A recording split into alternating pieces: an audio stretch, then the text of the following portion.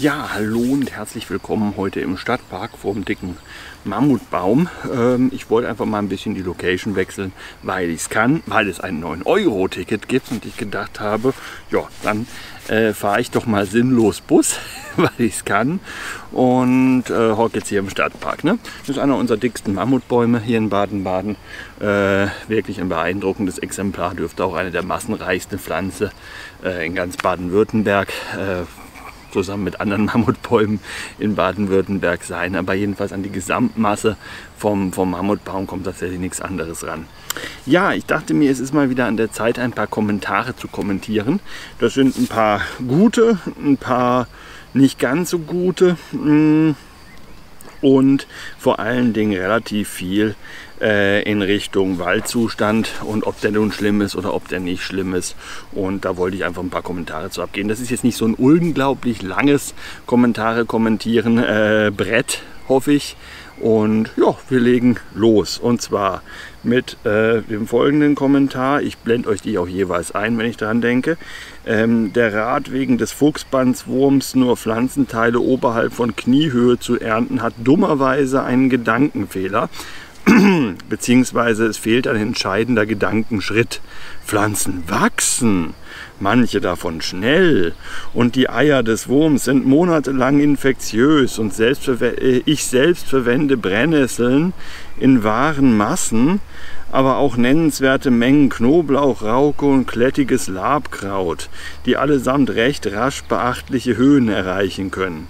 Wenn da vor drei Wochen ein Fuchs oder Hund draufgekackt hat, dann hängen die Bandwurmeier nun schon locker in mehr als Hüfthöhe an der Pflanze. Gut, äh, den Rest äh, können wir uns, glaube ich, sparen. Äh, der wesentliche Knackpunkt bei dieser hoch überlegten Aussage und bei meinem katastrophalen Denkfehler ist, dass hier der Kommentarschreiber offensichtlich keinerlei Ahnung hat, wie Pflanzenwachstum funktioniert. Pflanzen wachsen, und das durchaus auch schnell, aber nicht etwa aus dem Boden nach oben, sondern immer von der Spitze ausgehend. Ja? Also das ist relativ, nehmen wir uns hier mal ein, ein, ein, ein Miniaturbäumchen. Ja? Äh, das ist ein kleiner Efeu.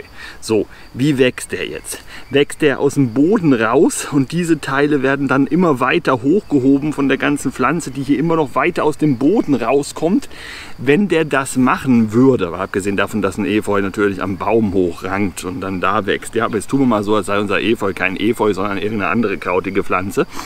Ja, äh, wenn er das tun würde, dann wäre es richtig. Ja? Der Fuchs macht hier drauf und das wird dann später hochgehoben und so weiter und so weiter und dann äh, bringt es einem nichts, dass man die Pflanzenteile in hoher Höhe erntet. Da hat dann der Fuchs möglicherweise trotzdem eben, also da hängt dann möglicherweise trotzdem noch Fuchsdung dran. Äh? Ähm, es gibt zu dieser Thematik eine ganz lustige äh, Geschichte bzw. eine lustige Frage aus der Jägerprüfung. Ich weiß nicht, ob die da noch drin steht, ähm, aber früher gab es die zumindest. Die hat äh, gelautet, wenn Sie ein Vogelhäuschen in einer Höhe von x Meter am Baum anbringen, ja, sagen wir jetzt einfach mal 1,50 Meter, ja, und der Baum hat ein Höhenwachstum von 40 cm pro Jahr. Sie kommen nach 20 Jahren wieder. Auf welcher Höhe befindet sich Ihr Vogelhäuschen? Na, wer weiß es? Richtige Antwort ist 1,50 Meter. Ja, weil sich das Holz nämlich nicht weiter ausdehnt und nicht die Wurzel den Baum nach oben, also nicht die Wurzel Holz produziert, was dann den gesamten Baum nach oben schiebt, sondern der wächst immer von der Spitze ausgehend. Gilt für jede Pflanze. Pflanzen haben ein Apikalmeristem. Was ist ein Apikalmeristem? Das ist die jeweils oberste Knospe einer Pflanze und da ist das hier ein relativ mieses Beispiel. Aber nehmen wir mal an, hier das oberste Blatt hätte, wäre die oberste Knospe des Baums. Ja, jetzt in der Vegetationsphase ist das Ding als Blatt ausgebildet. Spätestens kurz vor Winter bildet sich dann hier eine neue Knospe hier oben und diese neue Knospe wird im nächsten Jahr austreiben und sich nach oben bewegen. Von dieser Verzweigung ausgehend. Ja? Die Verzweigung selber, die wird nicht weiter nach oben gehoben, sondern von der Verzweigung ausgehend bildet sich ein neuer Trieb obendrauf. So und im nächsten Jahr bildet sich wieder ein neuer Trieb obendrauf und da bildet sich dann wieder im nächsten Jahr ein neuer Trieb obendrauf. Und die Fuchskacker, die von was weiß ich wie vielen Jahren hier unten drauf gesetzt worden ist, ist immer noch hier unten. Ja, also ich musste wirklich lachen bei diesem Kommentar. Also ein derart überzeugtes Unverständnis von Pflanzenwachstum ist mir tatsächlich äh, noch nicht untergekommen auf meinem Kanal. Ne? Also wirklich äh, selten, Entschuldigung, aber es ist schon ein bisschen doof. Ja? Also äh, ne, mag ja ansonsten ein sympathischer Mensch sein, der Kommentarschreiber, keine Frage. Aber, aber, aber ganz ehrlich, das ist schon, ähm, ne? also da muss man, da muss man einfach nur der Pflanze ein kleines bisschen zugucken. Aber man muss einfach irgendeine Top-Pflanze, die jetzt nicht unbedingt eine grundständige Blattrosette hat, ähm, muss man zugucken, wie die wächst. Und schon weiß man, dass das völliger Mumpitz ist. Daher musste ich da schon ein klein wenig lachen. Ja? Ich muss das natürlich niemandem erklären, äh, da, wie eine Pflanze wächst, dass die sich nicht immer weiter aus dem Boden schiebt und immer höher wird, weil sie sich immer weiter aus dem Boden schiebt und die unteren Teile irgendwann ganz oben sind. Das ist das ist so selbsterklärend, dass ich da wirklich lachen musste. Ja? Ähm, Ansonsten wird hier noch der Leberegel erwähnt. Ja, der Leberegel ist auch nochmal so ein Thema, dass man deswegen auch potenziell zumindest sagen kann, ich mampf keine Pflanzen vom Waldboden oder von welcher Höhe auch immer, äh, weil ich mir den großen Leberegel einfangen könnte. Das ist halt allgemeines Lebensrisiko. Ja, wer sich auch mal von Pflänzchen am Wegesrand äh, ernähren möchte und da mal naschen möchte, der hat tatsächlich ein gewisses minimales Restrisiko, sich da irgendwie noch möglicherweise Parasiten einzufangen. Aber da wir jetzt schon beim Thema sind, möchte ich noch mal kurz den Fuchsbandwurm ansprechen. Äh, beim Fuchsbandwurm, das ist ein uraltes Video von mir gewesen, also wirklich ganz, ganz alt. Das ist vielleicht in den ersten, in den ersten 20, die ich je gemacht habe. Und das ist wirklich schon eine Weile her. Ähm, da kann man grob zusammenfassen folgendes. Der Fuchsbandwurm ist eigentlich äh, eben ein Bandwurm, der tatsächlich gerne ähm, in den Fuchs möchte, das allerdings über den Zwischenwirt Maus im Regelfall tut und dann eine Maus, also auf gut Deutsch der äh, Wurm infiziert die Maus, die Maus wird dadurch langsamer und verwundbarer, wird dann eher vom Fuchs gefressen, dann landet der Wurm im Darm vom Fuchs und da will er hin. Und da kann er sich dann in den Darm hängen, sich von den Nährstoffen, die da so vorbeigeführt werden, wenn halt im Darm was verdaut wird, äh, ernähren. Und nach und nach produziert er dann eihaltige Segmente, die er die quasi als Stück seiner selbst, als letztes Ende vom Wurm sozusagen abgegeben werden, mit dem Fuchskot nach außen befördert werden, hoffentlich von irgendeiner, irgendeine Maus infizieren, die dann wiederum geschwächt wird, von einem anderen Fuchs gefressen und auf dem Wege hat sich der Fuchsbandwurm dann fortbewegt bzw. ausgebreitet, je nachdem, wie man das dann nennen möchte. So und das Problem ist, dass es eben auch sein kann, die Mau infizierte Maus eben auch vom Haustier gefressen wird oder alternativ das Haustier ähm, mit dem direkten Fuchskot in Verbindung kommt, dass also der Zwischenschritt über die Maus als Zwischenwirt gar nicht stattfindet und äh, sich das Tier einfach irgendwo am Waldboden wälzt. Jetzt insbesondere ein Hund ist da häufig äh, relativ prädestiniert und dann ist er dreckig und dann hat er Fuchsbandwurm Eier, das hat er dann im Fell hängen. So, jetzt geht der Hund nach Hause zusammen mit Herrchen, Frauchen, was auch immer. Dann wird er gebürstet, dann stäubt dieser Eiersalat, in Anführungszeichen, aus dem Fell aus, fliegt als Eierstaub in der Luft äh, rum und wir atmen das ein. So, und dann kann es, das ist die häufigste Infektionsursache, tatsächlich dazu kommen, dass dadurch, dass wir den Fuchsbandwurm-Ei, äh, das Fuchsbandwurm eingeatmet haben, äh, dass wir uns dann damit infizieren. Das ist tatsächlich die häufigste Infektionsursache.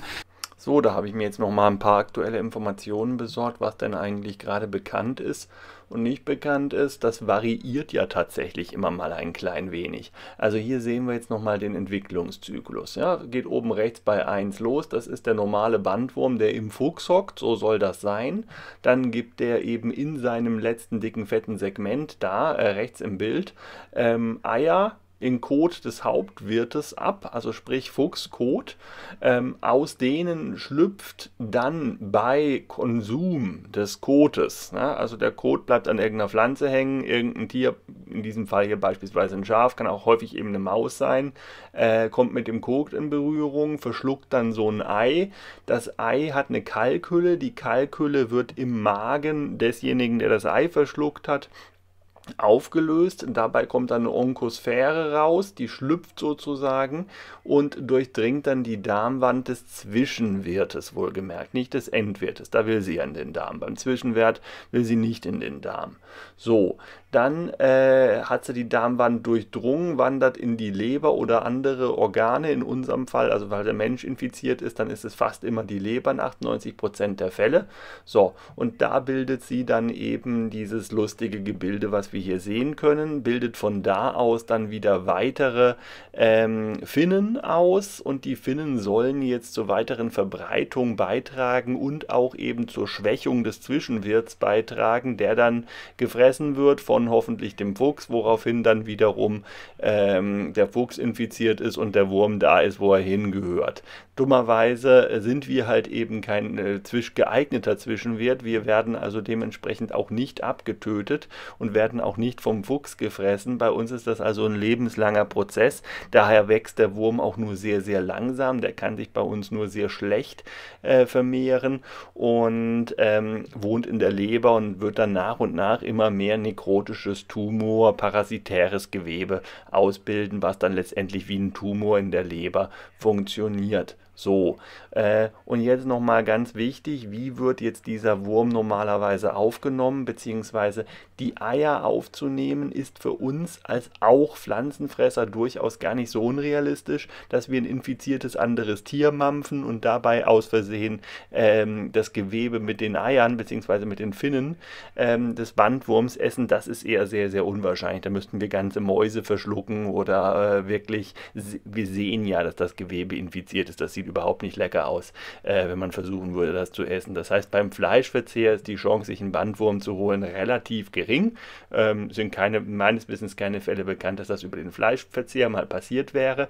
Hingegen beim Verzehr von Pflanzen, da könnte eben der direkte Kot und damit die Eier, die ja dann in der Magensäure aufgelöst werden und dann infektiös sind, diese dabei rauskommenden Onkosphären, sind ja infektiös. Das könnte uns als Mensch auch passieren. So, und jetzt regnet es ja auf meinem Dachfenster. Ich hoffe, das stört nicht allzu sehr äh, und man versteht mich noch.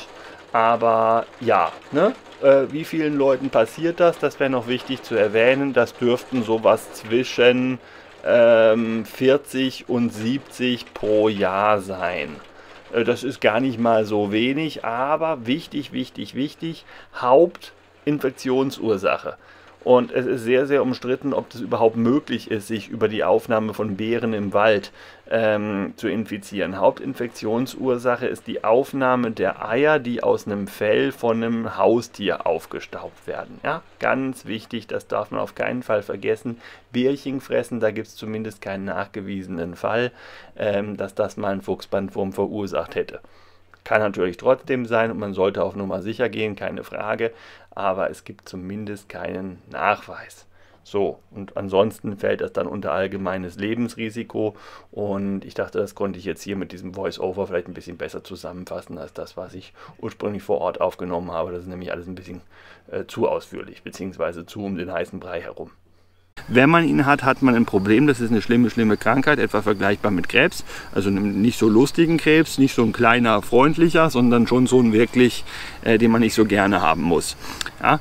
Und äh, ja, das macht keinen Spaß. Aber die Chance, dass man eben tatsächlich über Bärenverzehr einen Fuchsbandwurm bekommt, egal ob da jetzt der Fuchs vorher draufgekackt hat oder nicht, also das kann man ja schon versuchen zu vermeiden, dass man nicht direkt die isst, bei denen das passiert ist. Das dürfte auch geschmacklich nicht unbedingt eine Bereicherung sein. Ähm, Aber das Risiko ist sehr, sehr, sehr, sehr, sehr, sehr gering. Also wer gerne Waldbeeren isst und daraus einen Mehrwert für sein Leben ziehen kann, dem würde ich auf jeden Fall raten, lieber Waldbeeren zu essen und daraus einen Mehrwert fürs Leben zu ziehen, als jetzt aus Angst vor dem Fuchsbandwurm äh, sich nicht mehr vor die Haustür zu trauen und solche Späße. Das gilt ja für viele Gefahren, die statistisch gesehen nur sehr, sehr, sehr, sehr klein sind. Man kann sich wegen jeder noch so kleinen Ding in die Hose machen und eben im kleinen stillen Kämmerlein einschließen oder man riskiert es halt nun mal, ein gewisses Lebensrisiko gehört zum Leben dazu. Wäre das Leben nicht irgendwann mal vorbei, dann hätten wir ein Problem, äh, noch mehr Überbevölkerung, als wir sowieso schon haben und das ist auch ganz bestimmt nicht im Sinne der Natur, dass irgendwas anfängt unsterblich zu werden. Ja? Ähm, daher, ja, das zu diesem interessanten Kommentar. Also ist, schon, ist schon echt ein bisschen lustig, muss ich sagen. So, äh, zum Einstieg war das. So, dann haben wir hier nochmal das Hanfthema. Das Hanfthema habe ich schon ein paar Mal angesprochen, aber weil das Hanfthema mich einfach nicht in Ruhe lässt, beziehungsweise in Form von äh, Hanffreunden immer mal wieder aufgegriffen wird, möchte ich das Thema Hanf jetzt doch nochmal kurz ansprechen. Ich versuche das einigermaßen kurz zu halten, der Kommentar ist aber relativ lang. Äh, ich lese ihn trotzdem mal vor. Ihr könnt ja mal mit überlegen, ob da und wenn ja, welcher äh, oder welche möglicherweise Dinge, die, mit denen ich nicht einverstanden bin, da so drinstehen. Ja, ich will gar nicht sagen, dass das schlimm ist, ist es auch nicht, kann man schon so schreiben, kann man auch glauben und äh, kann man wegen mir auch verbreiten. Äh, ich bin nur anderer Meinung. So, äh, Hanf ist eine einjährige Pflanze, zumindest in unserem Breites, äh, Breitengarten. Meines Wissens habe ich irgendwie erzählt, dass es unter Umständen auch mehrjährigen Hanf gibt. Äh, ja, das, das gibt es auch unter Umständen, aber ja tatsächlich eben nicht auf dem Acker. Ähm, seit Jahrtausenden nutzt die Menschheit Hanf. Hanf ist vielseitig nutzbare Pflanze mit, mehrfach, äh, mit mehrfachen Nutzen in einer Pflanze. Sie haben mal das Gegenteil behauptet, das so aber nicht stimmt. Doch. Ähm, es gibt zwar verschiedene Züchtungen, aber traditionell wird die gesamte Pflanze genutzt und man kann auch immer noch so, kann auch immer noch so gezüchtet werden. Die Samen können zur Ernährung genutzt werden, die Faser gleichzeitig zu Textilien verarbeitet werden und die Zellulose zur Papierherstellung. Nebenbei kann das Harz entweder klassisch als Medizin oder auch als Klebstoff verwendet werden. Ja, es lassen sich auch hervorragende Verbundstoffe aus den Fasern herstellen, ähnlich wie Carbonfasern. Ja, ja, ja, ja klar. Äh, nur etwas besser. Klar ist besser als Carbonfaser. Äh, die ersten und die wirklich echten Jeans sind aus Hanf und nicht aus Baumwolle. Selbst heutzutage werden die besten Stängel und Seile für die Seefahrt aus Hanf hergestellt. Ja, nicht etwa aus irgendwelchen Hochleistungskunststoffen. Ne? Nein, nein. Ähm, Hanf kann die Baumwolle ersetzen. Selbstverständlich. Baumwolle ist ja auch so ineffizient, dass es ja ursprünglich mal den Hanf abgelöst hat. Ne? Und ist eine sehr vielseitige Pflanze, bei der es tatsächlich möglich ist, auch ein Produkt mehr mehr als nur einen Nutzen zu gewinnen. Ja, das, das ist sensationell, ja, das, das kann kaum eine Pflanze. Ja. Ähm, es gibt ein verschieden, äh, es gibt ein verschiedene Bücher zu dem Thema und auch warum Hanf verboten worden ist. Es wurde nicht nur wegen der berauschenden Wirkung verboten, sondern auch aus ganz anderen Gründen, mitunter seiner vielseitigen Anwendungsmöglichkeiten. Äh, verschiedene Interessensgruppen, zum Beispiel Tabakindustrie, Alkoholindustrie, Baumwollindustrie, Ölindustrie, Pharmaindustrie und so weiter und so fort. Bäume sind aber auch cool. Sonnenbrillen, Smiley und Peace. Ähm, ja, ne? Also, worauf ich vor allen Dingen mal eingehen möchte. Ja, Pflanz ist, äh, Quatsch, Hanf ist toll. Ne? Ist eine tolle Pflanze, gar keine Frage. Sollte sicherlich mehr Bedeutung in unserer Kulturlandschaft bekommen. Da ist man auch oft dabei, dass die ja immer mehr angebaut wird. Jetzt mal vom, vom, äh, von der psychoaktiven Wirkung von dem Zeug mal völlig abgesehen. Äh, das lassen wir jetzt mal ganz außen vor. Die Sache mit dem Heilmittel. Ja, gegen bestimmte Sachen ja, aber längst nicht gegen alles. Das war ja auch mal so ein lustiger Trend, das CBD, also diese Cannabidiolöl-Geschichte da.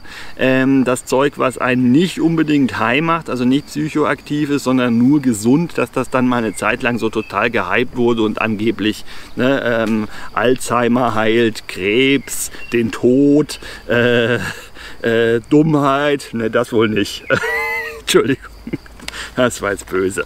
Ähm, nee, aber jetzt im Ernst, äh, da ist nicht allzu viel dran. Ja, das ähm, CBD heißt das so, also dieses Cannabidiol-Gedöns, Cannabidiol-Gedönse, das ist sicherlich für vieles gut, aber längst nicht für alles. Wann immer irgendjemand mit einem Wunderheilmittel, mit dem man plötzlich jede erdenkliche Krankheit heilen kann, um die Ecke kommt, das gibt es nicht. Du kannst nicht jede erdenkliche Krankheit mit ein und demselben idealen, tollen Wunderstoff, den man jetzt seit Jahrtausenden auf einmal in der Natur entdeckt hat.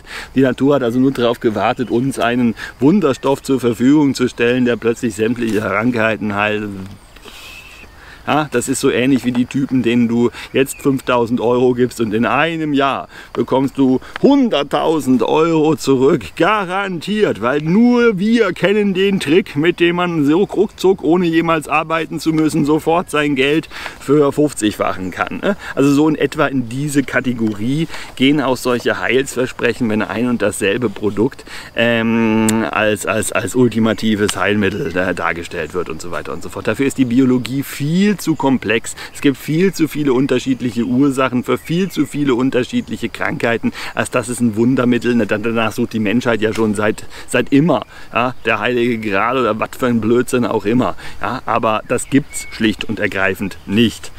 Und bevor sich jetzt die Handfreunde wieder äh, aufregen, ja, CBD ist ein eingetragenes und zugelassenes Arzneimittel, nämlich für bestimmte Formen der Epilepsie und kann vielleicht noch für andere Sachen durchaus nützlich sein. Da ist man noch dran an der Forschung. Bewiesen ist da noch nichts. Und alles andere ist jetzt erstmal wirklich nur ein Gerücht. So, also nur, dass man jetzt nicht mich völlig falsch versteht, das ist schon nützlich, das Zeug, aber nicht universell alle Probleme der Welt lösend. Ja, aber nochmal zu diesem, diesem Absatz. Äh, Hanf ist vielseitig nutzbare Pflanze mit mehrfachen Nutzen in einer Pflanze. Sie haben mal das Gegenteil behauptet, das so aber nicht stimmt. Doch. Ja? Doch. Und das habe ich leider auch neulich im Livestream angesprochen. Jetzt kann es sein, dass das relativ präsent vielleicht noch bei euch ist. Dann tut es mir leid wegen der Wiederholung. Für alle anderen, äh, die das irgendwie außer der Reihe gucken, kann man auf jeden Fall noch mal kurz darauf hinweisen. Pflanzenwachstum funktioniert erstens nicht aus dem Boden raus und wird dann immer höher. Das haben wir ja schon gehabt. Sondern funktioniert folgendermaßen. Ja, eine Pflanze kann, je nachdem, wie viel photosynthetisch aktive Biomasse die hat, also auf gut Deutsch, wie viel grüne Pflanzen Pflanzenmasse, äh, die Licht abbekommt. Das sind die Voraussetzungen. Bei sehr guter Wassersättigung, heißt so viel Wasser, wie sie sich nur wünschen kann, ist verfügbar. Dann kann sie Menge X an Photosyntheseprodukt produzieren. Das hängt davon ab, wie viel Sonnenschein dann schlicht und ergreifend da ist, beziehungsweise wie viele Stunden hell. Äh, hast du also meinetwegen 16 Tage, äh, 16 Stunden Licht ähm, im Sommer, dann kannst du relativ viel Photosyntheseprodukt erzeugen, es sei denn, äh, das Wasser geht dir aus. Aber jetzt gehen wir, wie gesagt, davon aus, wir hätten jetzt beliebig viel Wasser. Äh, es handelt sich um eine landwirtschaftliche Kultur, die zur Not auch noch bewässert wird, sollte das Wasser knapp werden. So, ja, das heißt, da kommt jetzt also eine relativ hohe Menge von Photosyntheseprodukt bei rum. Was ist Photosyntheseprodukt? Erstmal Zucker, Glucose, um genau zu sein. C6H12O6. So, und das kann jetzt in der Pflanze zu allen möglichen Krempel umgebaut werden. Zusätzlich nimmt sie über die Wurzel noch Stickstoff auf. Ist gerade insbesondere für alle möglichen Sachen, die der Hanf so macht, sehr, sehr wichtig. Davon braucht er relativ viel. Ähm, sie nimmt Calcium, Magnesium, Phosphat, Eisen und so weiter und so fort auf. Ähm, alles Mögliche aus dem Boden. Aber im Wesentlichen ist der Grundbaustein immer der Zucker bzw. die Glucose C6 6H12O6. So, und die kann jetzt umgebaut werden, eben auch noch mit den anderen Stoffen von, ähm, vom sekundären Stoffwechsel der Pflanze, nennt sich das Ganze, zu allem Möglichen. Ja? Und das heißt, du kannst jetzt aus dem Zucker einfach Zellulose bauen. Ja, das ist dann diese Faser, die erheblich besser ist als Carbonfaser. Ähm ich weiß nicht, in welcher Hinsicht die bitte besser sein soll als Carbonfaser. Äh, ab sofort fahren die Rennradler auf der Tour de France mit dem äh, Tour de France, ja. Tour de France, äh, nicht nur mit Doping, sondern auch mit Handfahrrädern. Ja, das ist bestimmt besser als das, was sie bisher hatten. Gut, aber ähm, ja der, der, der, der Punkt ist, dass die Pflanze wirklich nur das, was sie an Ausgangsmaterial zur Verfügung hat, auf ihr gesamtes Wachstum verteilen kann. So, jetzt kann sich eine Pflanze, je nachdem, wo sie steht, je nach Sorte, je nach Genetik, je nach Anpassung, je nach Lebensraum, auf unterschiedliche Art und Weise an ihrem Grundpool von Ressource bedienen. Pflanzenorgane, die da eine Rolle spielen, sind Wurzel. Das heißt, es kann die Wurzel vergrößert werden. Dann die Sprossachse. Das heißt, man kann in die Höhe wachsen, beziehungsweise wenn man ein Baum ist, dann ist es ein Stamm und keine Sprossachse. Aber auch da kann man in die Höhe wachsen. Ist man ein Baum, kann man alternativ auch in die Dicke wachsen. Ist man kein Baum, kann man das nicht. Da kann man nur in die Höhe wachsen und mehr Wasser den Stängel einlagern. Dann quillt er noch ein Stück weit auf, aber irgendwo ist Schluss. Noch dicker als aufgequollen kann der nicht werden. Der wird nicht mehr sekundär dicker. Das ist ganz wichtig, das können nur Holzpflanzen. Weil nur die haben ein Cambium. Habt ihr vielleicht schon mal gehört in irgendeinem anderen Beitrag von mir. Wenn nicht, könnt ihr das mal googeln. Ähm, so, oder in die Blätter, das heißt, wir produzieren mehr Laub, wir erhöhen unsere photosynthetisch aktive Biomasse, damit wir dann möglicherweise im nächsten Jahr oder auch erst nächste Woche oder schon eher schon nächste Woche oder morgen, je nachdem wie schnell das funktioniert mit der Ausbildung neuer Blätter, noch mehr Photosynthese machen können und mehr netto verwendbaren Zucker bekommen, mit dem wir anderen Krempel anstellen können. Das sind die drei Hauptorgane. Geht es jetzt noch in den Reproduktionsbereich, hat die Pflanze noch die Möglichkeit, Blüten Blüten zu produzieren. Entweder viele oder wenig. Ja, das hängt davon ab. Machst du viele Blüten, hast du weniger Kraft übrig, um zum Beispiel noch höher zu werden oder eine bessere Wurzel auszubilden oder zusätzliche Blätter zu machen. Ähm, hast du aber zum Beispiel auch in der Frühzeit deiner Entwicklung, eine Blüte macht man ja normalerweise am Schluss, gerade als einjährige Pflanze, die nicht so lange hält und dann wieder von sich aus das Zeitliche segnet, ist die Blüte sozusagen die Krönung des Wachstums und findet am Ende statt. Ja? Und jetzt ist die Frage, wann ist das Ende des Wachstums? Ja, will die Pflanze erst besonders groß werden, damit sie das Resultat hat, dass ihre Blüte besonders weit oben in der Landschaft hängt und vielleicht eher angeflogen wird von Bestäubern? Ähm, oder macht sie sehr, sehr früh eine Blüte, dafür eine sehr, sehr große Blüte, weil sie weniger Energie verschwendet, in Anführungszeichen hat, um besonders hoch zu werden oder besonders viele Blätter auszubilden. Das ist immer ein sogenannter Trade-off. Ja, man kann nicht alles haben. Man hat nur so und so viel Nettozucker zur Verfügung Verfügung und den muss man aufteilen. Macht man eine fette Blüte, ist man kleiner. Macht man eine kleine Blüte, kann man vorher sehr groß werden. Äh, macht man super viele Blätter, hat man, sobald die da sind, eine noch größere Photosyntheserate, hat dann aber den Haken, dass man vielleicht gar nicht mal mehr so lange lebt, weil man nur eine einjährige Pflanze ist, dass man davon was hat und muss dann trotzdem nur eine kleine Blüte bauen, weil man zu früh, zu, viel, äh, zu spät noch äh, sinnlos in viele Blätter investiert hat. Auch das gibt es, einzelne Pflanzenindividuen, die einfach eine Fehl Ressourcenallokation betreiben. Das nennt man das der Fachbegriff dafür. Ressourcenallokation, also die Verteilung der verfügbaren Photosynthese-Primärprodukte letztendlich. Ja? Ähm, und das äußert sich eben gerade insbesondere beim Hanf ganz hervorragend eben darin, dass der bei einem sehr guten Wachstum trotzdem nicht alles machen kann. Du kriegst also keinen sehr, sehr großen Hanf mit langem Stängel, der viele Fasern liefert, Carbonfasern, ne? ähm, der gleichzeitig viele Blüten hat und gleichzeitig auch noch viele Samen hat. Und das alles kannst du gleichzeitig nutzen. Das kriegst du nur so weit hin, das gibt es. Es gibt Handpflanzen, die alles drei in gleichem Verteilma im gleichen Maß produzieren. Aber dann hast du im Endeffekt einen Hanf, der hat ein ganz paar Samen, die wirtschaftlich nicht wirklich sammelbar sind, weil das so wenige sind, dass der Aufwand, die zu sammeln, maschinell, wenn du sie nicht von Hand aufsammeln möchtest, was natürlich noch teurer ist, ähm, quasi viel zu hoch ist. Da bräuchtest du eher einen Samenhanf, dann lohnt sich auch, dann kriegst du viele Samen raus, dann kannst du Hanföl machen, kannst du teuer verdicken an Leute, die drauf stehen und äh, hast einen Mordsgewinn gemacht. Ja, dann lohnt sich das. Willst du hingegen Hanffasern produzieren, dann kannst du mit dem blühenden und samentragenden Hanf nichts anfangen, weil damit der viel blüht und viel Samen hat hinterher, viel Samen hat er nur, nämlich nur, wenn er viel, viel geblüht hat. Ja, das weiß auch jeder, der schon mal jemals im Garten irgendwas Sinnvolles getan hat, außer zu gießen ähm, oder mit der Topfpflanze oder was auch immer. Ähm, dann haben wir da eben das Problem, dass äh, das nur eine sehr kleine Pflanze ist. Ja? Und die hat dann vielleicht Blüten und dann Samen und so weiter, aber die hat dann keinen nennenswert nutzbaren Stängel mehr, der eine, vernünftige Qualität an langen Handfasern geben würde, mit denen man dann tatsächlich Seile und ähnliches herstellen kann. So, und das ist ein Grundgesetz der Natur, dass du eben einfach, es gibt nicht, genauso wenig wie es das universelle Heilmittel für alles gibt, gibt es auch nicht die universelle, in jeder Hinsicht einfach nur toll Pflanze, die irgendwie plötzlich fünfmal so viel Photosynthese macht bei nur einem Drittel der Fläche. Äh, irgend so ein Quatsch, das gibt es einfach nicht. Photosynthese nutzt bestenfalls 1,5 Prozent vom einkommenden Sonnenlicht, also der Energie davon von 1,5 Prozent. Was Besseres hat die Natur nie erfunden, was Besseres war aber auch nie notwendig, muss man auch noch dazu sagen. Ja? Also die, die Notwendigkeit, eine noch effizientere Photosynthese zu erzeugen, ist absolut nicht notwendig. Wenn nicht, guckt euch mal einen tropischen Regenwald da, wo er noch steht, an. Das ist genial und das funktioniert auch mit 1,5 Prozent Wirkungsgrad. Vollkommen ausreichend und vollkommen zufrieden, bis zu 1,5 Prozent, muss ich nochmal dazu sagen. Ja? Ähm, vollkommen ausreichend, vollkommen zufriedenstellend. Ja?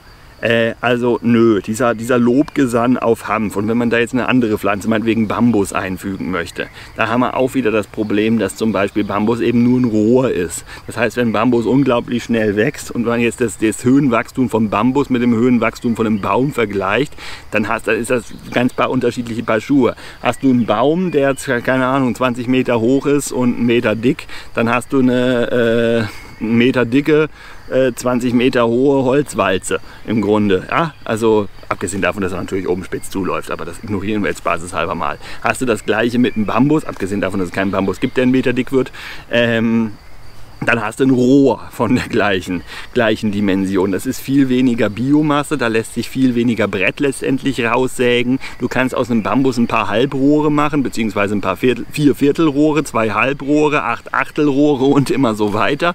Und das war es dann mehr oder weniger auch. Ja, man kann ihn natürlich auch komplett kleinschreddern und eine Bambusfasermatte draus machen. Geht auch. Aus dem Material toll, als Spanplattenersatz toll. Ich will Bambus gar nicht schlecht machen. Bambus ist großartig. Ähnliches für Hanf. Ja, hast du zufällig gerade irgendwo Hanf, Faserhanf und machst dann eine Dämmstoffplatte draus, die dämmt hervorragend, ist schneller bzw. mit einem möglicherweise günstigeren Material als Holz hergestellt. Das heißt aber nicht, dass man deswegen das nicht auch mit Holzwolle machen könnte und je nach Situation ist Holz die effizienter wachsende Pflanze. Warum? Ja, ganz einfach, das habe ich auch schon mal relativ ausführlich erklärt.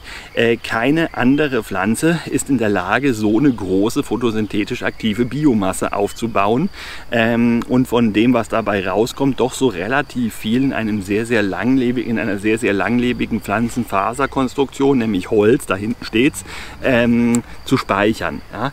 Also Bäume mögen nicht nur auch, sind auch cool, ja, aber es ist einfach Quatsch. Es ist Blödsinn. Ne? Also und auch wenn man dann mal irgendwann tatsächlich in, äh, mit etwas Mühe vielleicht ein entsprechendes Buch gelesen hat, in dem sowas drinsteht, ja, heißt das ja nicht zwingend, dass das dann unbedingt ein gutes Buch gewesen sein muss. Ach, das muss man natürlich auch nochmal dazu sagen. Aber jetzt will ich echt nicht weiter schimpfen.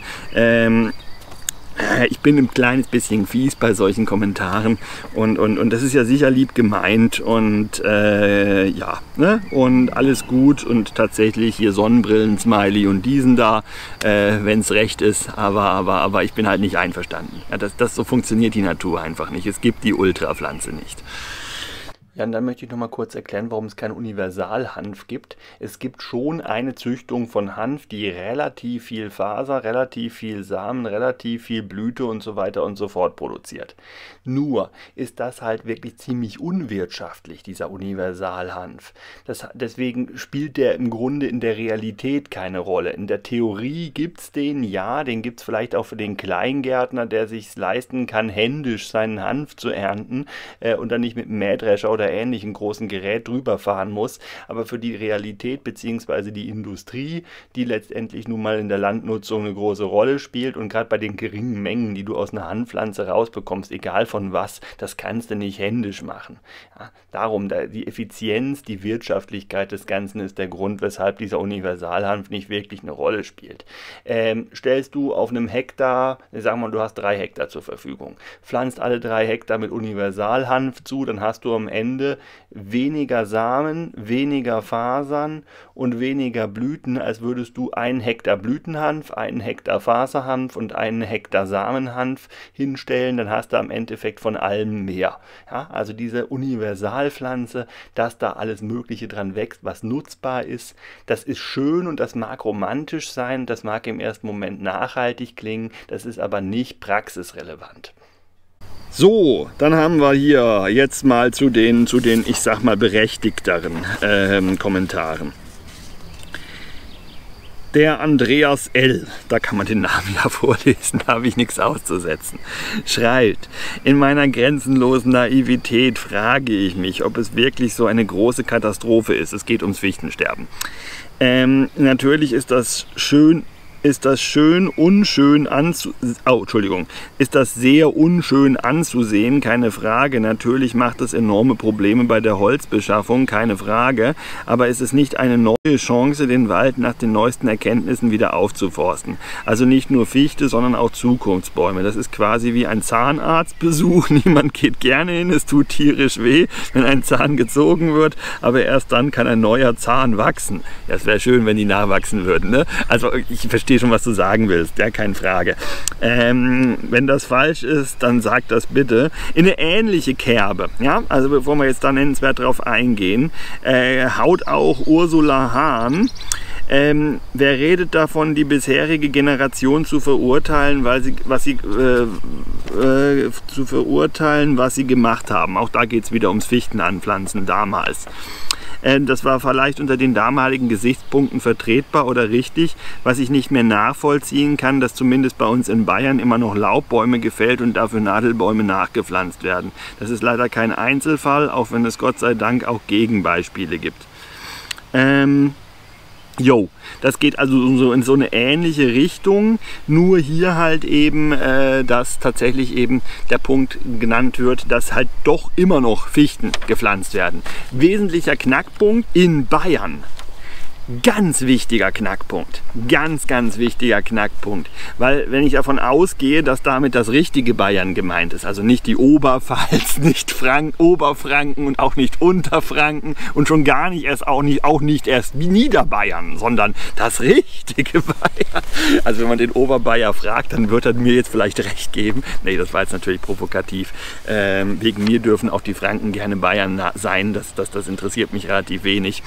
Äh, wenn Sie das wollen. Sie wollen ja wahrscheinlich eher Franken sein. Fragen wir mal einen gewissen berühmten Franken, der da gerade irgendwo in München hockt und äh, scheinbar was zu sagen hat. Und sehr viele Grußkarten verschickt, wenn jemand Geburtstag hat.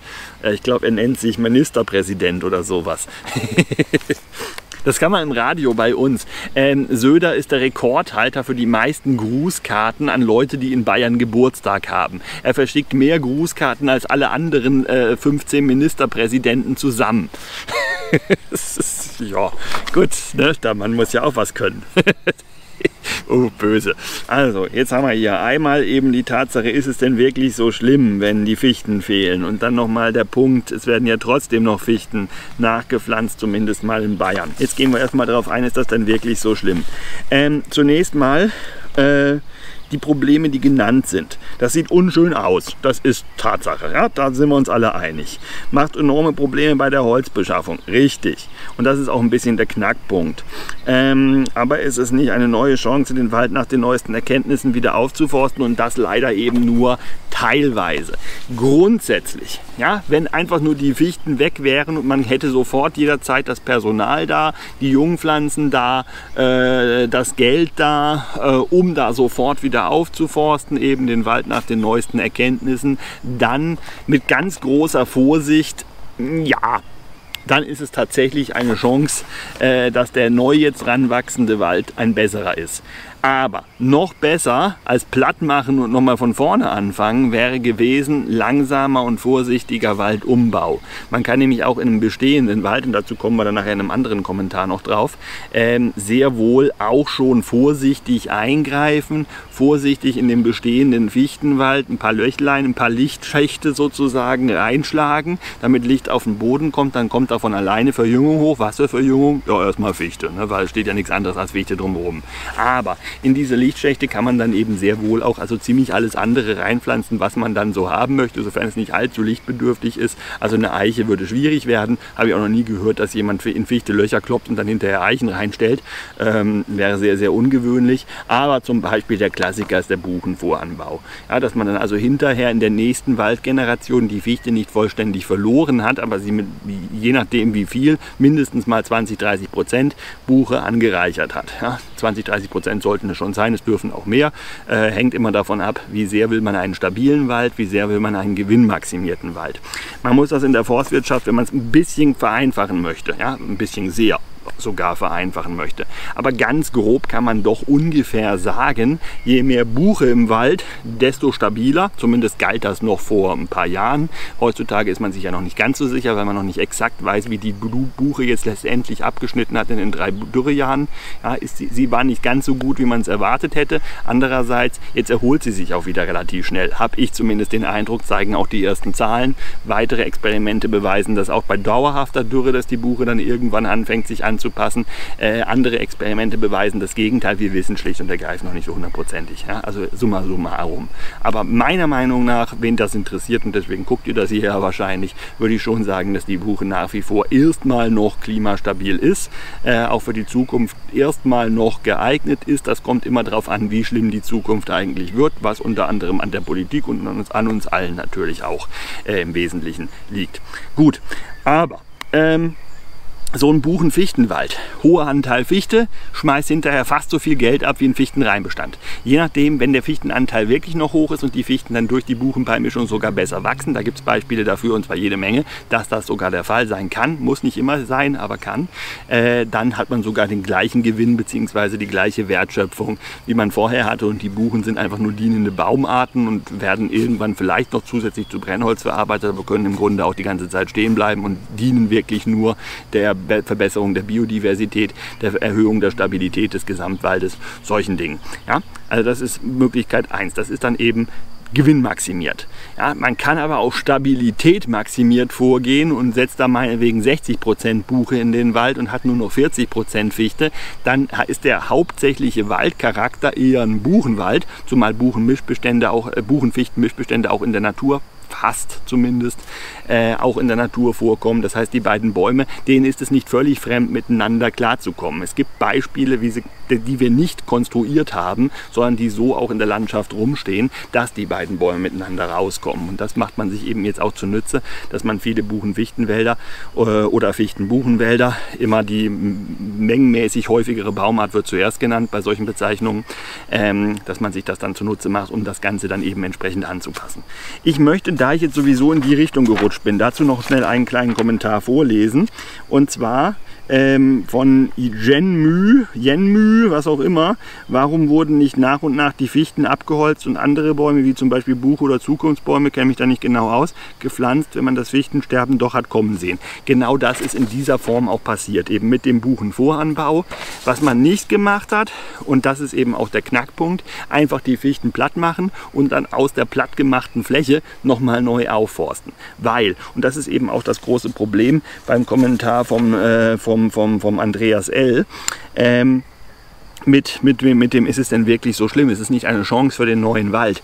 Aus der Kahlfläche neuen Wald hochziehen ist erstmal viel, viel, viel schwieriger und dauert viel, viel, viel länger als ein Waldumbau im noch stehenden Wald. Denn Wald ist grundsätzlich ein Ökosystem, das sich im Wald äh, vermehrt. Ja? Also es gibt weltweit ein paar Waldsysteme, die müssen wirklich vollständig zusammenbrechen. Da darf kein Baum mehr stehen, bevor dann überhaupt eine Verjüngung einsetzt und ein neuer Wald vollständig aus dem Nix, aus dem nicht bestehenden Wald äh, wieder hochwächst. Aber im Regelfall ist es tatsächlich so, dass Wald aus Wald entsteht. Das heißt, die Fläche bleibt Wald und eine riesen geräumte kahle Fläche, eine Kahlfläche, wie wir sie ja zurzeit in Deutschland überall sehen können, wenn wir danach suchen wollen, ähm, die so ist eigentlich nicht natürlich und das ist auch nicht im Sinne der Waldökologie, dass die, die Bäume an sich, ne, wenn man sie einfach machen lässt, können mit so einer Fläche erstmal wenig anfangen. Ja, und drum dauert das einfach sehr, sehr lange, bis die, ohne dass wir nachhelfen, nennenswert wieder hochkommt. Also der Wald auf der Fläche. Und will man das jetzt pflanzen, dann hat man auch nämlich das Problem, dass längst nicht jeder Baum, weil wie gesagt, Wald verjüngt sich im Wald äh, und aus dem Wald kommt mit so einer Kahlflächensituation, kommen viele Bäume nicht klar. Zum Beispiel die Buche, wenn man sie jetzt eben als Leit, äh, Klimax-Baumart verwenden wollen, dann äh, können wir da einfach keine Buche drauf pflanzen auf die Kahlfläche. Keine Chance, die geht hier sofort ein. Warum? Naja, weil das Kronendach fehlt. Die kriegt also volle Kanne UV-Strahlung, Sonnenlicht und so weiter und so fort, volle Kanne drauf Trockenheit, volle Kanne drauf, weil der Boden trocknet aus durch das Licht. Das ist generell ein Problem. Ja, ganz wichtig, kommen wir gleich zu. Ähm, und Frost tatsächlich. Ja? Wenn die Bettdecke fehlt, die schützende Decke oben drüber, dann sind auch Bödenfröste viel, viel, viel intensiver. Im Winter ist es im Wald, je dichter der belaubt ist, tatsächlich viel wärmer als draußen. Wer es nicht glaubt, darf es mal ausprobieren, auf dem zugigen Feld stehen und frieren, in den Wald gehen und ho, hoppla, ist ja wieder viel wärmer. Da hat jeder bestimmt schon mal erlebt, der mal darauf geachtet hat. Wenn nicht, macht es mal, wenn es mal irgendwann jemals wieder kalt werden sollte. und ähm, probiert das mal aus. Gleicher Effekt im Sommer, im Wald kühler als draußen, weil die Sonne nicht so drauf brutzelt. Und genau das, weil die Sonne nicht so drauf brutzelt, äh, führt eben dazu, dass im Wald kaum eine Austrocknung des Bodens oder deutlich, deutlich langsamer eine Austrocknung des Bodens stattfindet. Auf der Freifläche hingegen nahezu sofort. Ja, und selbst wenn es dann da mal regnet, dann fällt der Regen, möglicherweise ein Starkregen, ein Gewitterregen, auf die ausgetrocknete Fläche, spült den lockeren Boden, der da jetzt ausgetrocknet in, trocken, in so kleinen Trockenklumpen da rumliegt, einfach weg von der Fläche und dann haben wir da überhaupt keinen Boden mehr, sondern bestenfalls noch so ein paar sandige Klumpen, äh, schlimmstenfalls im Grunde nur grobes Geröll. Ja? ähm, vielleicht noch feines Geröll dazwischen, möglicherweise auch Kies. Aber ein Kiesbett ist wirklich keine gute äh, Wachstumsbedingung für die allermeisten Baumarten, die wir so haben und insbesondere nicht für die Baumarten, die wir gerne haben wollen auf so einer Fläche, wenn wir nämlich einen neuen Wald eben mit klimaangepassten Baumarten starten wollen. Tatsache ist nun mal, und das habe ich im entsprechenden Video, wo dieser Kommentar auch drunter stand, ähm, ja auch gesagt, man hat unter anderem damals deswegen so viel Fichte gepflanzt, weil die sich halt auf die Kahlfläche pflanzen lässt. Es hätte, wenn man eine Kahlfläche mal hat, dann gibt es gar nicht so viele Alternativen zur Fichte, die man da einfach so drauf pflanzen kann. Ja? Also man darf sich wirklich eine riesen Kahlfläche nicht als Reset der Waldfläche und jetzt pflanzt den Wald, den du in Zukunft haben möchtest, nach beliebiger, nach beliebiger Vorstellung. So darf man sich das nicht vorstellen. Eine Kahlfläche ist extrem schwierig wieder zu bewalden. Das macht sie irgendwann auch von alleine, aber irgendwann von alleine. Das ist je nach Situation äh, ganz unterschiedlich, aber 20 bis 30 Jahre dauert das auf jeden Fall. So, und jetzt hat, äh, hat der Andreas ja auch schon angesprochen, Problem, äh, enorme Probleme bei der Holzbeschaffung. Aber das ist, das, ist, äh, das ist wirklich enorm, das Problem. Ja? Das darf man auf keinen Fall ignorieren, wie riesig dieses Problem eigentlich ist. Weil wenn man ein wirklicher Naturfreund sein möchte, ja, meiner Meinung nach, dann sollte man auch über den eigenen Vorgarten und meinetwegen auch den eigenen Wald hinterm eigenen Dorf hinaus über die Natur nachdenken. Weil Natur gibt es nur als Ganzes. Letztendlich ist das ganze gesamte planetare Ökosystem äh, die Natur. Und wenn davon Teile zusammenbrechen, hat das fast immer auch Rückkopplungen auf alle anderen Teile. Das heißt, uns ist nicht geholfen, solange nur unser Wald hinterm Haus noch in, intakt ist und alle, der Rest der Welt interessiert uns nicht.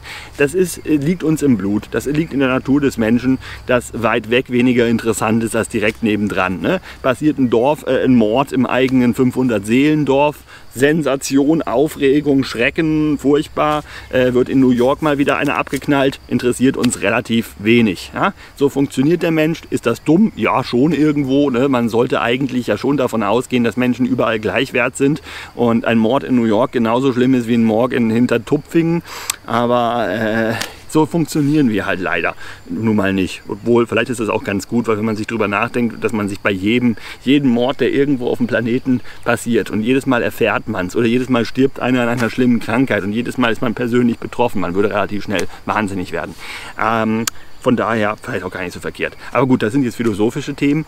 Ähm, was wir im Hinterkopf behalten müssen ist, wenn wir bei uns eine Lücke von 40 Jahren Holznutzung haben, ja, weil wenn es 40 Jahre dauert, bis auf den Kahlflächen, die wir jetzt haben, äh, wieder ein vernünftig nutzbarer Wald steht, dann haben wir insgesamt, und das dürfte noch viel länger dauern, weil der muss ja noch groß genug werden, haben wir eben in dem Zeitpunkt, wo die Fichten eigentlich hätten geschlagen werden sollen, die jetzt alle gleichzeitig umgefallen sind, der, von denen wir nur einen Bruchteil sinnvoll nutzen konnten, was einfach zu viele waren. Der Rest liegt jetzt in China. Man muss übrigens bei der Sache mit den nach China äh, exportierten Fichten auch sagen, die liegen da ja nicht einfach nur rum und werden da jetzt nicht genützt, weil die sind in China auch zu irgendwas gut. Auch da ist das ein wertvoller Rohstoff und die werden das Zeug nicht importiert haben für immer noch relativ viel Geld, weil die Transportkosten relativ teuer sind, auch wenn sie es bei uns zum Ramschpreis bekommen haben. Aber die Transportkosten bleiben hoch. Ähm, die werden damit schon irgendwas Sinnvolles anstellen. Und letztendlich ein, ein Passiv-Energiehaus, äh, wenn es in China steht, hilft es genauso dem Klima, wie wenn es in Deutschland steht. Ja? Nur dass sie das daraus gebaut haben, ist zugegebenermaßen relativ unwahrscheinlich. Keine Ahnung, was die Chinesen mit unseren Fichten jetzt anstellen. Aber irgendwas halbwegs Sinnvolles werden sie bestimmt damit machen. Einfach nur für Brennholz lohnt sich das nicht. Da können sie welches aus irgendwelchen nahegelegenen Ländern klauen, machen sie ja sowieso immer. Äh, und müssen da gar nichts für zahlen. Ne? Ähm, so. Aber, ja, das ist der Knackpunkt. Alles, was jetzt an Holz über das Maß, was wir regulär hätten ernten wollen, geschlagen ist, das wird uns dann fehlen, wenn es regulär hätte geschlagen werden sollen. So, und da wir bis dahin keinen reduzierten Holzbedarf haben, da fängt nicht plötzlich an, der Baumarkt ein Schild aufzuhängen. Ja, leider wegen dem Dürresommer äh, 18, 19 und 20 gibt es jetzt die nächsten 15 Jahre in diesem Baumarkt kein Holz mehr. Äh, aber wir haben Ziegel mit 5% Rabatt. Das wird nicht passieren. Dann muss das Holz woanders herkommen. Dafür sind wir zu wichtig, zu reich, zu Wohlstandsgesellschaft zu, kann man nennen, wie man lustig ist. Äh, wir werden auf jeden Fall äh, importieren, was uns fehlt.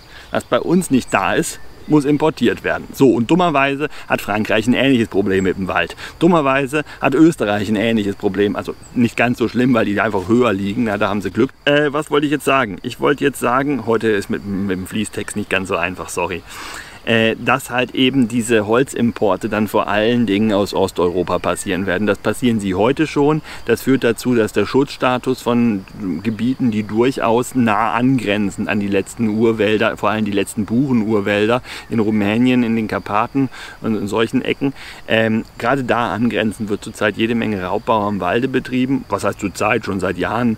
Und das wird nicht weniger werden, wenn unsere Holznachfrage weiter ansteigt und dann irgendwann noch mal viel massiver ansteigt steigen wird, weil eine gewisse Zeit lang wir aus dem heimischen Wald kaum was rausnehmen werden und schon gar kein Nadelholz bzw. geeignetes Bauholz. Und dann kann je nachdem, wie dann die politische Situation ist, könnte es auch passieren, dass wir Fichten aus Russland, aus Sibirien importieren, äh, weil, ja, sind halt Fichten ne? und die sind halt noch zu kriegen und äh, dass bei uns gar keine gibt, sind auch die Transportkosten aus Sibirien bis zu uns dann auch kein großes Problem mehr mit dem LKW 3000 Kilometer über die Autobahn oder 4000 oder 5000 oder 6000, was weiß ich ähm, und kann man dann immer noch bezahlen. Ne? Äh, zumal die Produktionskosten Kosten da, wo es herkommt, wahrscheinlich nahezu null sind. Äh, möglicherweise haut man die auch einfach aus dem Gebiet, das gar niemandem gehört. Äh, in Sibirien könnte es solche Landstriche tatsächlich noch geben oder zumindest, wo keiner so genau weiß, wem es gehört, vorsichtig ausgedrückt. Und äh, ja, immer noch günstiger.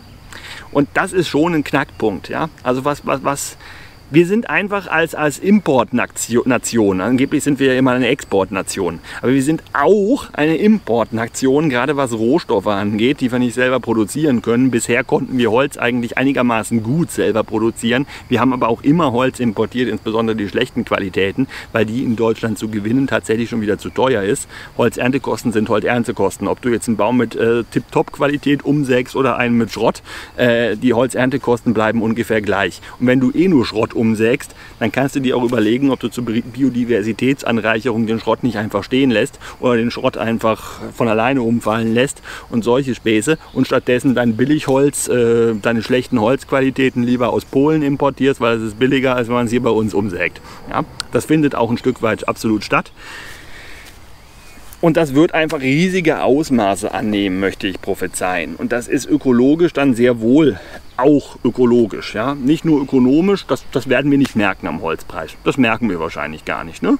Äh, das ist ja billig, das Zeug aus dem Osten.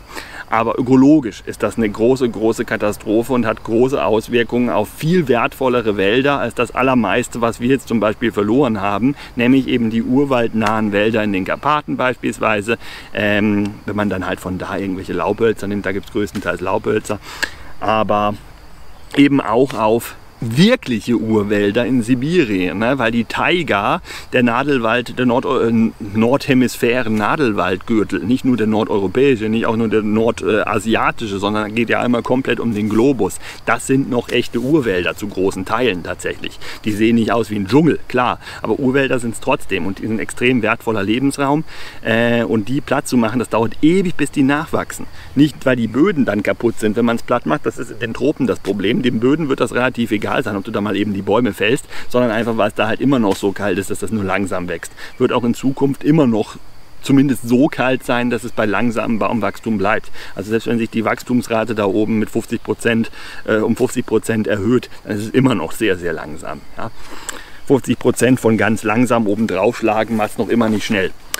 Gut, ja, also das sind so ein paar Aspekte, die ich jetzt hier einfach nochmal wiederholen wollte. Das sage ich bestimmt nicht zum ersten Mal, aber ist wichtig, ganz wichtig. Ja, und dann der Knackpunkt, dass in Bayern tatsächlich noch Nadelbäume unter, unter Laubbäume gepflanzt werden, beziehungsweise Laubbäume gefällt, um Nadelbäume zu pflanzen. Das äh, bildet, bildet eine schöne Brücke zu unserem nächsten Thema, das dann nämlich lautet, was machen denn die Privatwaldbesitzer so falsch? Ich habe mich im Livestream ja tatsächlich ein bisschen abfällig zu manchen Privatwaldbesitzern geäußert. Ich hoffe, ich habe tatsächlich betont, dass ich manche Privatwaldbesitzer meine. Äh, wenn nicht, aber doch, das habe ich bestimmt gesagt. Also ganz so, ganz so äh, verallgemeinern bin ich ja normalerweise nicht.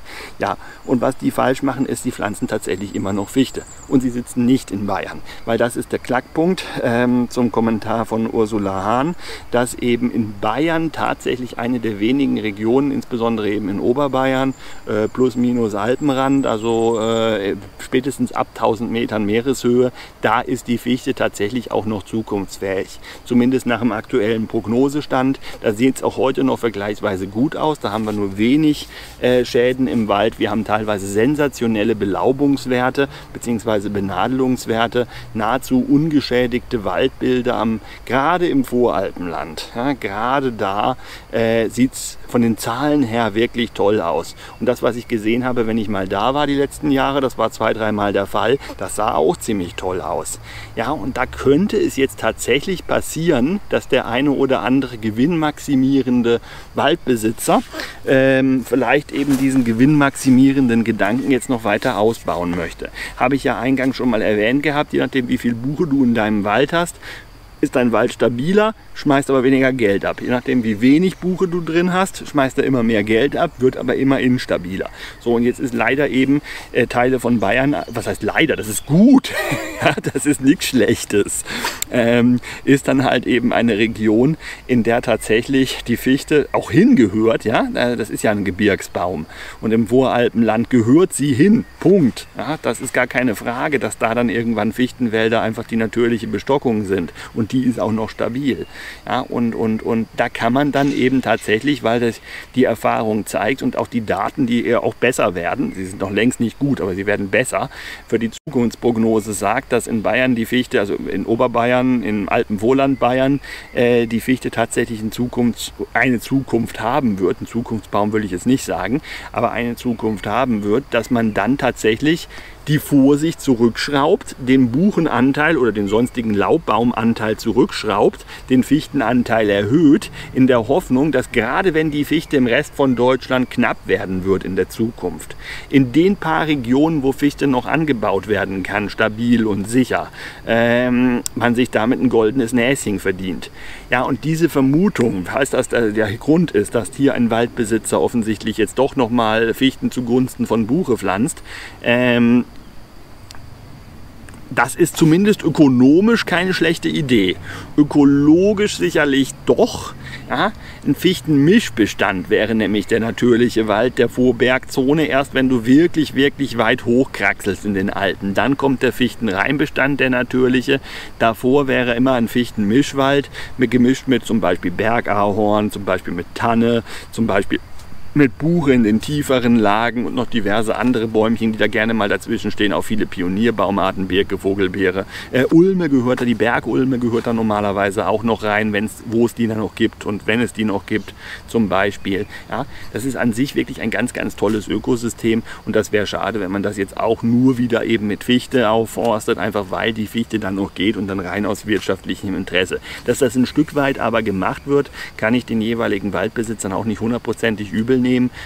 Dass die mit ihrem Grund und Boden möglicherweise Geld verdienen wollen, wie sie es schon seit Jahrhunderten eben auch gemacht haben. Also gerade die relativ großen Privatwaldbesitzer in Bayern, da gibt es viele, die ziemlich viel Privatwald haben. Ähm, es gibt auch viele, die nur ein winzig, winzig, winzig kleines Stück haben. Das gibt es auch. Ja? Die spielen jetzt keine so große Rolle. Aber gerade die größeren Privatwaldbesitzer haben da schon immer von gelebt oder zumindest anteilig von gelebt und das war denen ihr Sparbuch und die Gedanke damit vor allen Dingen Geld zu verdienen ist da relativ präsent. Das muss man jetzt nicht gut finden, aber das ist die Erklärung. Ja, äh, darum könnte ich mir das eben erklären, dass das damit eine Rolle spielt. Ja, wären wir irgendwo anders, um jetzt nochmal zu meinem anderen letzten Kommentar vom Urs Heuberger nochmal einzugehen, was machen denn die Privatwaldbesitzer so falsch? Wenn sie eben nicht in der fichtenfähigen Region sitzen und trotzdem Fichte pflanzen, insbesondere im Rheinbestand, dann machen sie genau das falsch. Und das machen sie seit 40 Jahren etwa falsch, weil seit 40 Jahren findet das immer noch statt.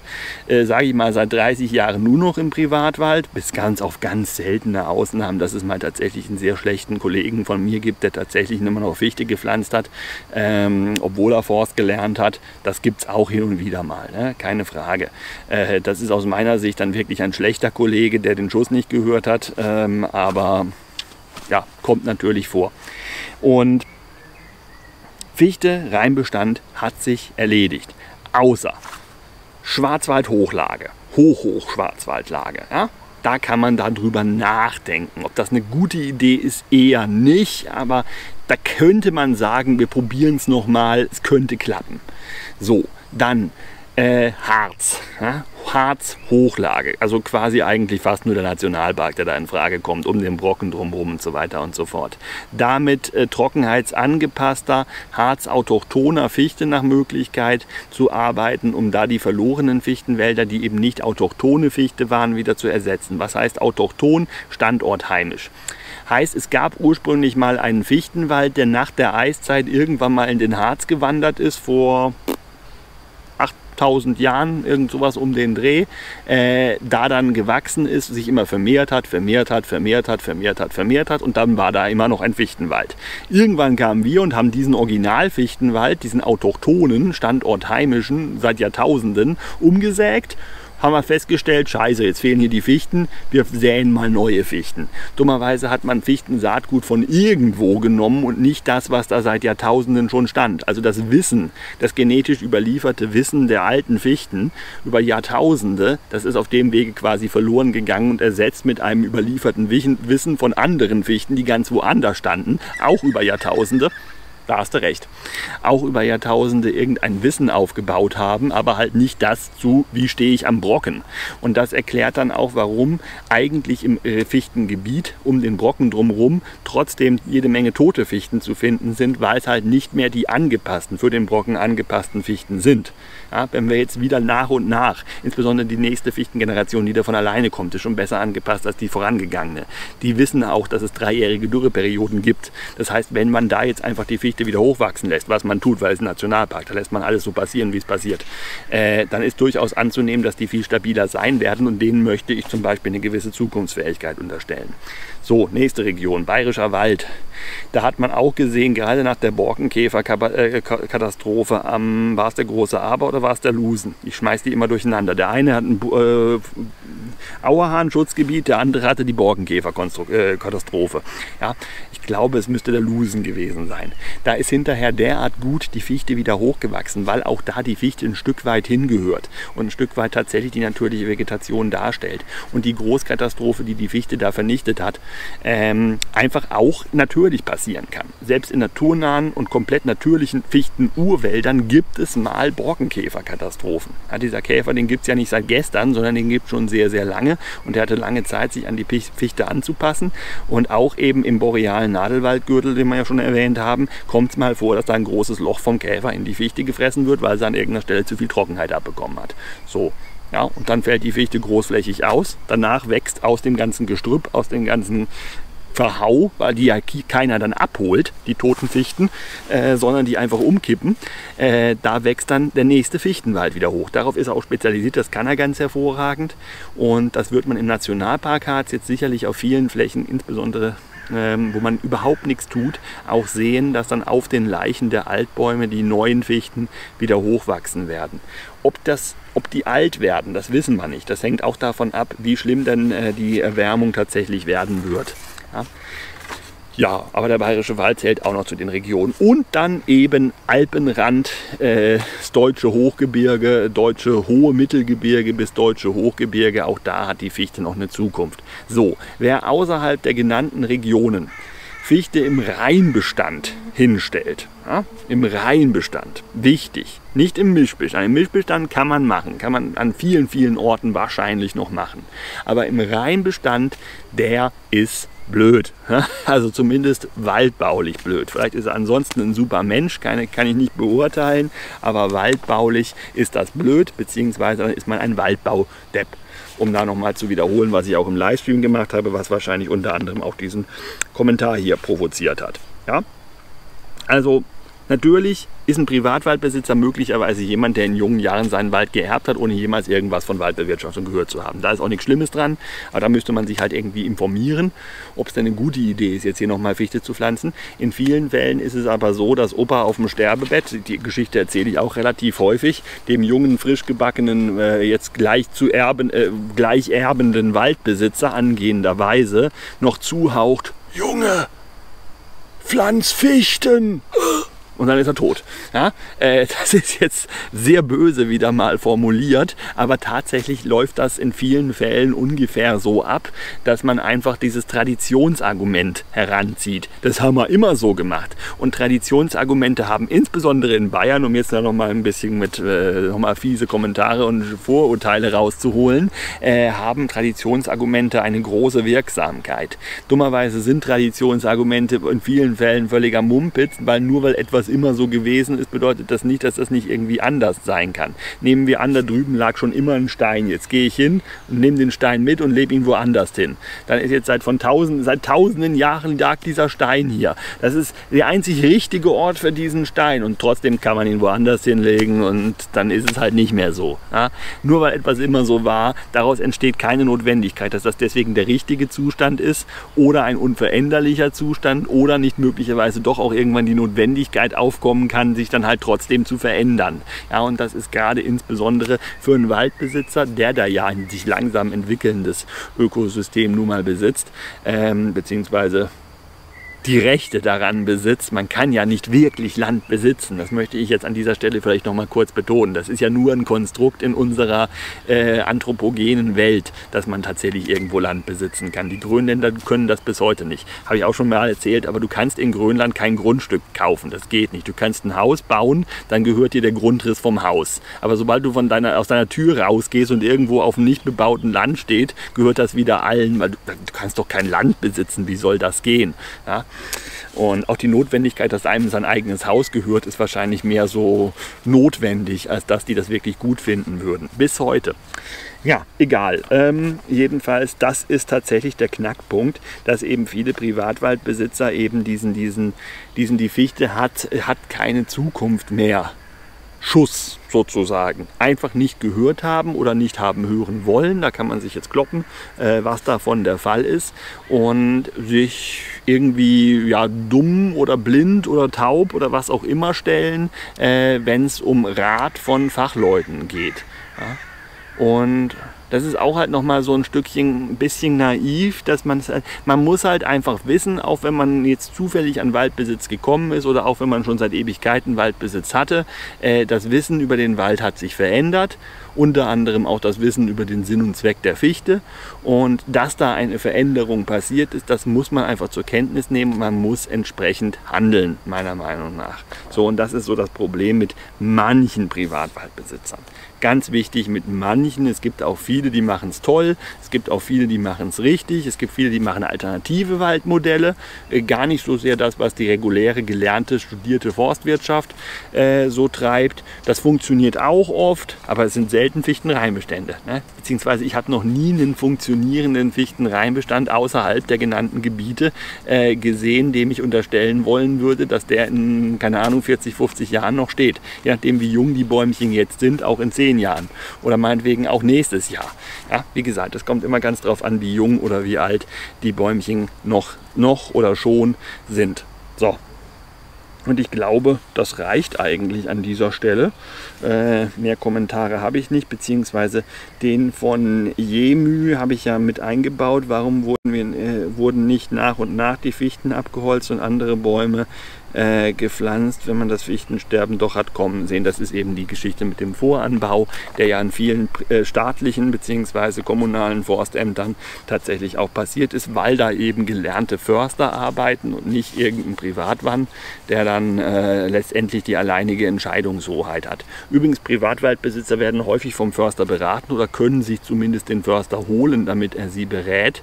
Sie sind dann aber nicht unbedingt verpflichtet, das dann auch genauso zu tun und und in der Frage der Baumartenwahl, welchen Baum will ich denn bei mir hinstellen und so weiter und so fort, äh, gibt es erstaunlich wenig Vorgaben in den meisten Landeswaldgesetzen. Das ist immer auf Landesebene. Warum das, dass das auf Landesebene ist, spielt natürlich dann auch nochmal eine große Rolle dabei, dass man jetzt sagen könnte, irgendein äh, Landwirtschaftsminister, der immer gleichzeitig Forstminister ist, ähm, könnte da ja mal gesetzlich irgendwie was unternehmen gegen den weiteren Anbau von Fichte im Rheinbestand. Aber das funktioniert nicht so einfach. Das müsste dann ins Bundeswaldgesetz. Und das ist schwierig, weil das Bundeswaldgesetz eben den Bundesländern sehr viele eigene Vollmachten einräumt und den Bundesländern Vollmachten wegnehmen.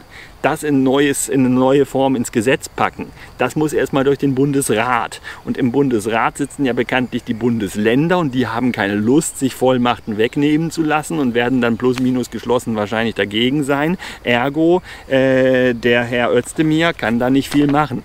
Die Julia konnte im Übrigen auch nicht viel machen, nicht, dass sie es versucht hätte, aber ja, muss man sehen. Ne? Vielleicht kommt er ja doch noch auf irgendeine Idee. Ähm das war's. Man beachte den Baum.